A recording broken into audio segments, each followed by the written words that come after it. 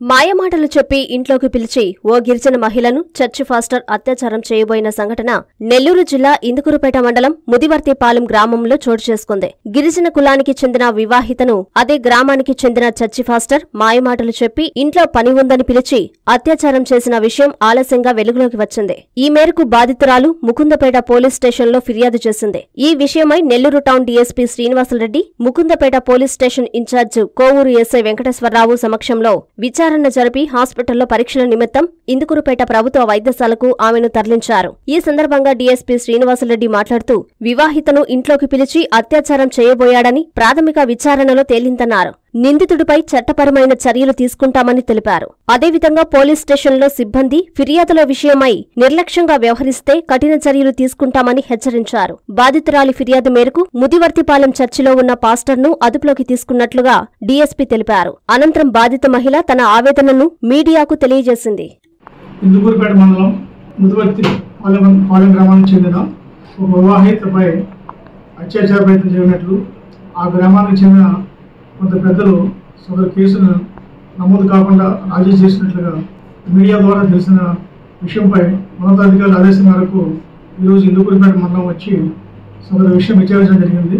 ఈ విచారణలో ఆ వివాహితను విచారించగా ఆమె అదే గ్రామానికి చెందిన ఒక పాస్టర్ తనపై ఇది ఏడు ఆరు ఇరవై మూడు తేదీన అత్యాచార ప్రయత్నం చేసినట్లుగా అదేవిధంగా ఆమె రిపోర్ట్ ఇచ్చినప్పటికీ కూడా ఎటువంటి న్యాయం జరగనట్లుగా ఆమె మాకు తెలియజేసింది. ఆ మేరకు ఆమె వద్ద నుంచి రిపోర్ట్ తీసుకుని సదర్ మాస్టర్ పాస్టర్ కేసు నమోదు చేయడం జరిగింది.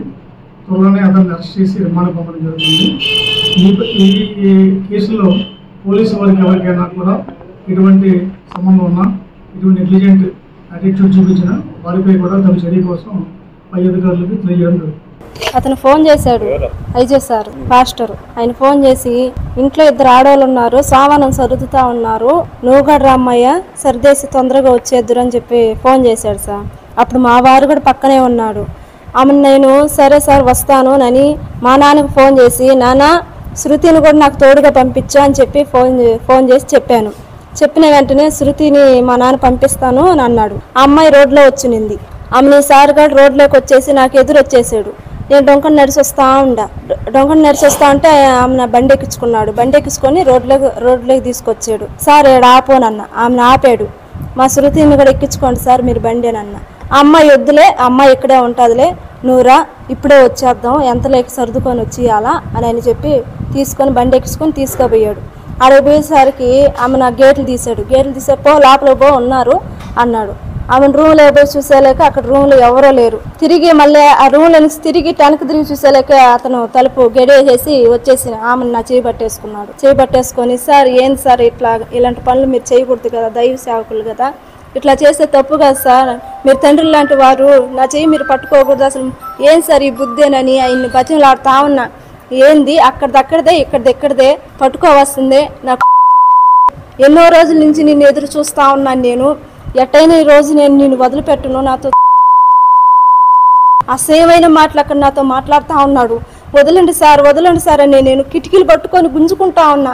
ఆయన రెండు చేతులు కూడా పట్టేసి గోడకి అదివేసి నానా విధంగా ఇగో ఇదంతా కూడా నన్ను ఖర్చేసేదానికి రెండు చేతులు కతక్కని అదివేసాడు పట్టేసాడు నాకు. అసలు ఊపిరి ఆడుకోకుండా పట్టేశాడు ఇదంతా ముట్టేసాడు ఇదంతా ఇదంతా కరిచేసాడు ఇదంతా కూడా ఆయన నన్ను చింపేయటానికి గొడ్లన్నీ చింపేయటానికి తీసేయటానికి ప్రయత్నం చేస్తా ఉన్నాడు ఆ రూమ్లో. సార్ వదలండి సార్ నన్ను వదలండి సార్ అని నేను బతుకులాడుతా ఉన్నా వేడుస్తూ ఉన్నా ఆయన కాడ. సార్ నీ కాలు పట్టుకుంటాను దండం పెట్టుకుంటాను నన్ను వదిలి పంపించేయండి సార్ అన్నాను నేను. పంపించేసింది సార్ అన్నా కూడా వద్దు నేను పంపించను ఐదు నిమిషాలు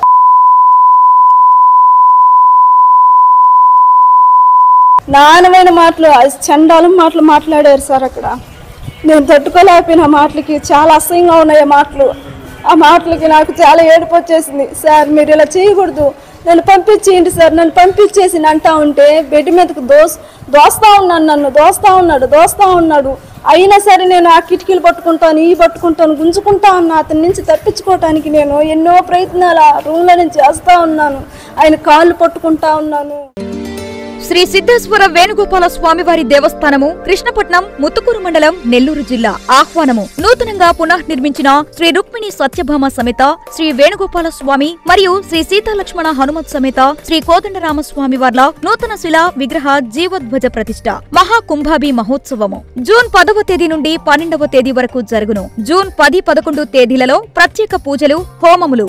జూన్ పన్నెండవ తేదీ ఉదయం ఏడు గంటల ముప్పై ఐదు నిమిషాలకు శిలా విగ్రహ ధ్వజస్తంభ ప్రతిష్ట పదకొండు గంటల నలభై నిమిషాలకు అభిజిత్ లగ్నంలో కుంభ ప్రోక్షణ. పన్నెండు గంటలకు శాంతి కళ్యాణోత్సవము. మధ్యాహ్నం పన్నెండున్నరకు అన్నదాన కార్యక్రమం. రాత్రి పది గంటలకు గ్రామోత్సవం అత్యంత వైభవంగా జరుగును. ఆలయ నిర్మాణమునకు పూర్తి సహాయ సహకారాలందించిన రాష్ట్ర వ్యవసాయ శాఖ మంత్రివర్యులు శ్రీ కాకాణి గోవర్ధన్ రెడ్డి గారి దంపతులకు కృతజ్ఞతలు. ప్రతిరోజు సాంస్కృతిక కార్యక్రమాలు కలవు. శ్రీ పెద్దపాళెం సుబ్బయ్య పిళ్ళే చైర్మన్ మరియు ధర్మకర్తల మండలి. ఇట్లు కోవూరు జనార్దన్ రెడ్డి కార్యనిర్వహణాధికారి.